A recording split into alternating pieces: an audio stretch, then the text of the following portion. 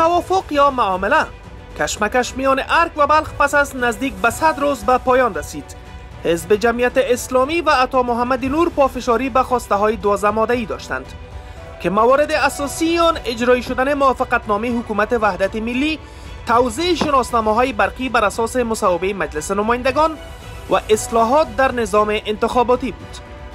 اما حالا بر اساس توافق جدید میان نور و ارک هیچ یک از این خواسته ها عملی نشده است. تنها دستاورد عطا محمد نور تعیین والی بلخ و چند مقام محلی در این ولایت است و بس. وزارت معارف از قبل مربوط جمعیت و وزیرش اسدالله بلخی بود که وی را اشرف غنی براحتی برکنار کرد. در آن زمان وزیر معارف هیچ گونه صلاحیت اجرایی نداشت. سفیر فیلی قزاقستان قدمشاه عضو جمعیت است که عوض شدن آن با فرهاد بلخی کدام دستاورد نیست.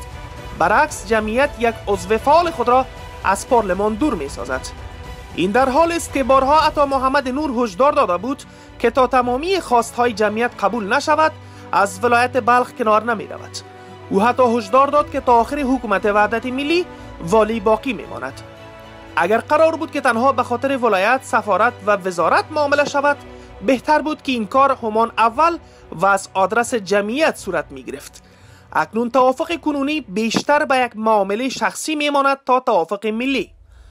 اگر وضعیت به همین منوال پیش برود برکناری وزیر سفیر و والی نزد اشرف غنی کار ساده است. به آسانی آنها را متهم به بیکفایتی و یا فساد می کند و بعد برکنار و افراد خود را سرپرست تعیین می کند از آغاز کار حکومت وحدت ملی تا کنون اشرف غنی به تمامی توافقها پشت پا زده است.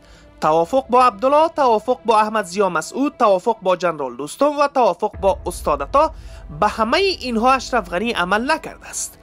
اشرف غنی اما توانست دوستم را تبعید کند عبدالله را بی صلاحیت کند حزب جمعیت و جنبش را چند پارچه کند و حزب وحدت را خاموش کند.